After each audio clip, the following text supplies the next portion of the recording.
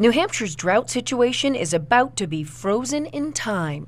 What we've been saying as this drought has progressed over the fall, uh, that you know, kind of where we are uh, once we hit winter, is sort of where we're going to have we're we're going to be until it warms up again in the spring.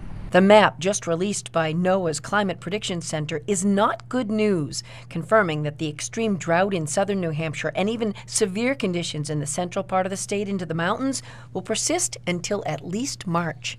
The drought is really affecting the groundwater system. And of course, here in a cold climate, uh, the precipitation during the winter is going to be sitting on the surface. We need that in the groundwater system. Recent rains are a drop in the bucket of what's needed to soak into aquifers before things freeze.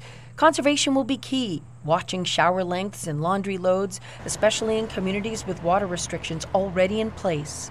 For areas where groundwater levels are already low, um, people are going to have to conserve their water use if they're drawing from wells or um, for uh, municipalities who are drawing from streams. A lot of winter snow could help, but not until spring. We need a good snowfall season.